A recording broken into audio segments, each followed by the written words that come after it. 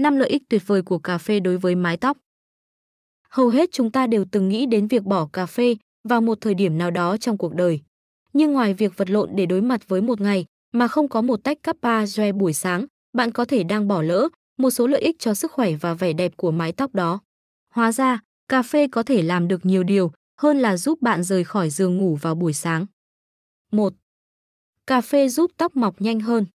Nếu bạn đang cố gắng tìm mọi biện pháp để mọc tóc nhanh hơn, thì uống một tách cà phê mỗi ngày thực sự có thể giúp bạn làm được điều đó.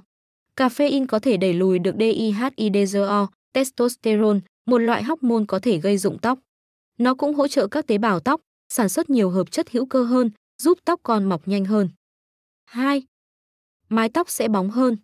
Mặc dù thoa serum và dầu dưỡng tóc có thể giúp bạn phục hồi mái tóc thiếu sức sống, nhưng nó chỉ mang lại kết quả tạm thời. Ngoài nhiều lợi ích sức khỏe khác, uống cà phê cũng có thể thổi luồng sinh khí mới cho mái tóc xỉn màu.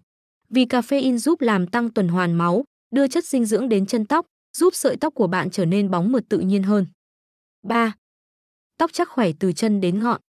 Ngoài việc giúp bạn tỉnh táo vào buổi sáng, cà phê có thể giúp tóc chắc khỏe hơn từ bên trong. Lưu lượng máu đến da đầu tăng lên, giúp các nang tóc không bị yếu đi, ngăn ngừa rụng tóc và giúp tóc bạn mượt mà, chắc khỏe hơn. 4. Tóc mọc dày và đều hơn.